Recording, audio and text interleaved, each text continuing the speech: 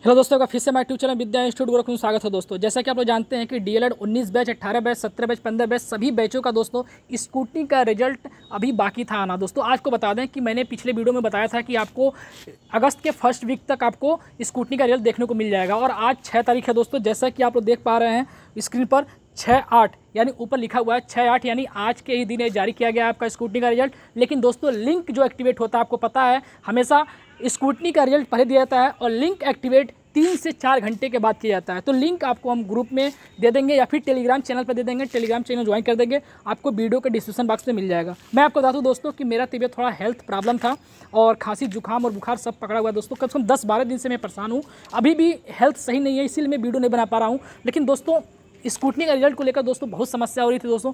और आज मुझे पता चला कि कुछ लोग अफवाह फैला रहे थे कि दस तारीख, पंद्रह तारीख को बीच में आएगा। लेकिन दोस्तों जैसा मैंने बोला था, वैसे हुआ। फ़र्स्ट वीक था, चल रहा दोस्तों फ़र्स्ट वीक में ही आपका रिज़ल्ट आ गया है। तो दोस्तों, जो भी इस चैनल पर नए दोस्तों, इस चैनल को सब्सक्राइब कर लेंगे और बेल आइकन को दबा लेंगे, क्योंकि जो भी ऑफिशियल न्यूज़ होता है दोस्तों, सबसे पहले आपको मिल जाता है। ठीक दोस्तों, आज के इस वीडियो में यही तक। अब मिलेंगे नेक्स्ट वीडियो में। धन्यवाद।